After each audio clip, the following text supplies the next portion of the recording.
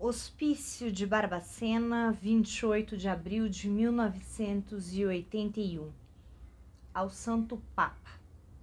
Eu, pecadora, Ana Maria Pier Angeli, italiana até a raiz do meu coração, atriz, signo de virgem, idade que eu mesma já esqueci, mas meu coração é jovem temente a Deus e aos ratos e pulgas e baratas e piolhos e percevejos do hospício, e temente também aos morcegos do hospício que de noite se transformam na alma penada do Conde Drácula, manda este help à sua santidade, porque fui vítima de um complô liderado por minha própria mãe, com o apoio do Papa Pio XII. Que Deus o queime no fogo do inferno e estou há 25 longos anos internada como louca aqui no hospício de Barbacena, onde tudo é amarelo. As paredes, os muros, tudo é amarelo e mesmo a lua é amarela como uma lua de hepatite. E se não fosse a proteção do menino Jesus de praga, eu já tinha colocado um ponto final nesta minha existência porque quando chega o verão no Brasil e as andorinhas estão de volta e começam a voar no pavilhão do hospício, e eu peço às andorinhas notícias de Roma e elas dizem que bela que Roma está, eu sinto quanta festa eu tenho guardada no meu coração.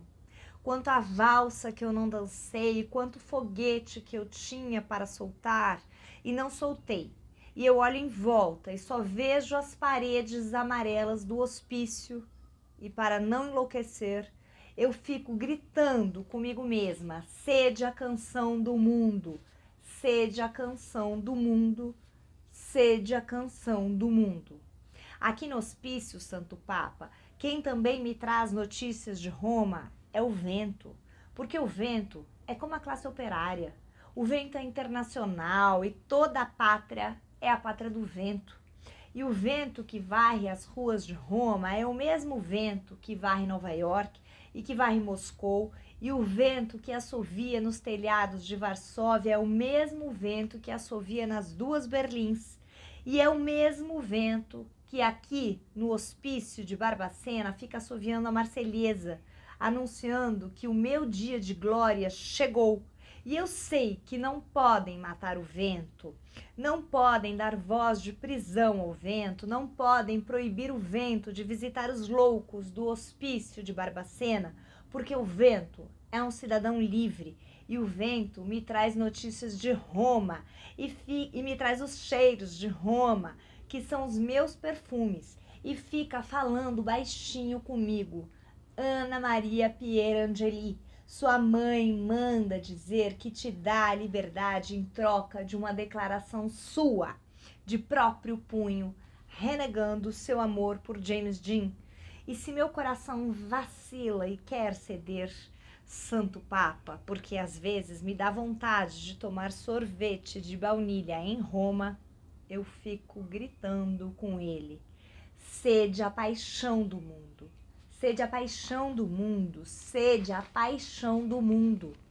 Releve as minhas divagações, Santo Papa, afinal, o fim desta, na verdade, é dar ciência à sua santidade, que eu sou a verdadeira atriz Ana Maria Pier Angeli e que me encontro recolhida no hospício de Barbacena, no interior de Minas Gerais, no Brasil, onde Franco Basalha, que Deus o tenha no paraíso, me visitou Aqui estou em razão do meu amor, que eu recusei trair pelo ator James Dean, flor da minha vida, o qual James Dean suicidou, pois o que houve com meu próprio, meu pobre Jimmy não foi um acidente automobilístico, mas um suicídio, porque ele acreditou que eu, Ana Maria Pier Angeli, o desprezava em favor de Marcello Mastroianni, sendo que o que ocorreu realmente, Santo Papa, como são testemunhas Sofia Loren, Cláudia Cardinale e Elsa Martinelli,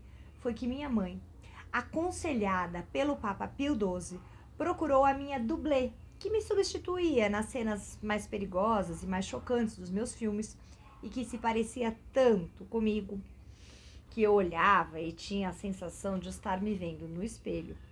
Minha mãe pagou a minha dublê com a glória de ser Ana Maria Pierangeli e a convenceu a procurar o meu adorado James Dean e dizer a ele, como se ela fosse eu, que tudo entre nós não tinha passado de um fogo de palha e que eu amava era Marcello Mastroianni.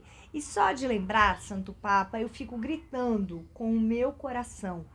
Sede o incêndio do mundo, sede o incêndio do mundo, sede o incêndio do mundo.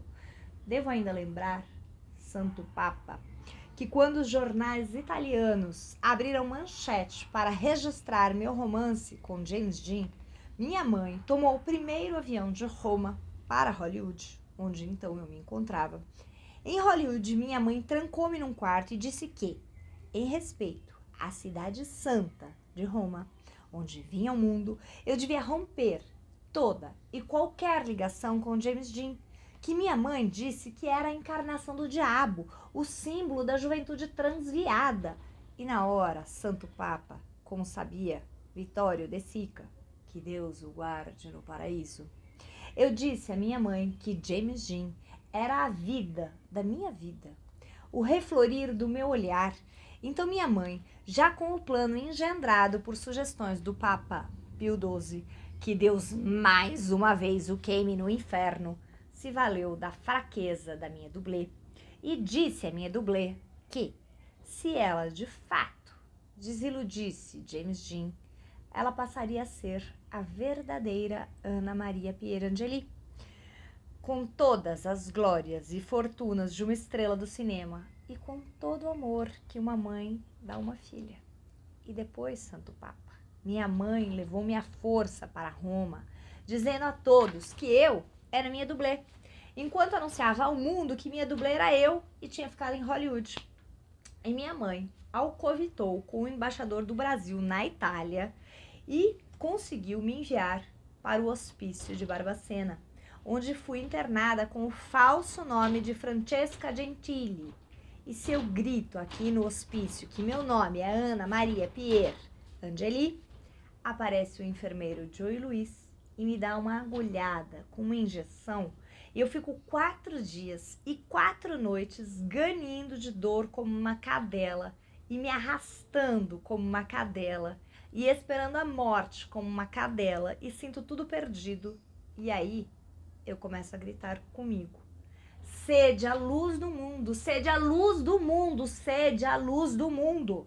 O que mais me assusta, Santo Papa, é que aqui no hospício de Barbacena, eles têm o costume, quando chega o inverno, de dar o chá da meia-noite aos doentes mais antigos. Aqueles cujas famílias ficam só esperando a boa nova de que morreram. O chá da meia-noite é um chá quente e reconforta, porque aqui em Barbacena é um gelo, mas é um chá com rum e um veneno estranho. O rum embriaga e o veneno alegra, e quem bebe o chá da meia-noite morre feliz, como Maria, a louca que morreu dançando Danube Azul. E agora eu suspeito que o inverno está chegando, Santo Papa. Sinto na minha pele os primeiros arrepios e as andorinhas já estão se preparando para voar para Roma. Vejo nos olhos das andorinhas a alegria de quem vai partir para uma cidade amada. E o enfermeiro Joey Lewis já começa a me preparar para a morte. Ele me procurou e disse: Pier Angeli, eu sou Deus. E ele disse, Santo Papa, que já tem uma passagem reservada para mim com destino ao céu. E falou que no céu todos ficam dançando valsa e eu tenho uma valsa dançando no meu coração e eu, oh, eu quero dançar, eu quero dançar, eu quero dançar, mas eu tenho medo. Eu tenho medo, eu tenho medo, então salve-me, Santo Papa, que sua santidade me tire deste inferno, depositando a minha vida em vossas santas mãos. Despeço-me com um abraço. Ana Maria Pierre Angeli PS. Meu coração está capitulando, mas eu grito com ele. Sede a esperança do mundo. Sede a esperança do mundo. Sede a esperança do mundo.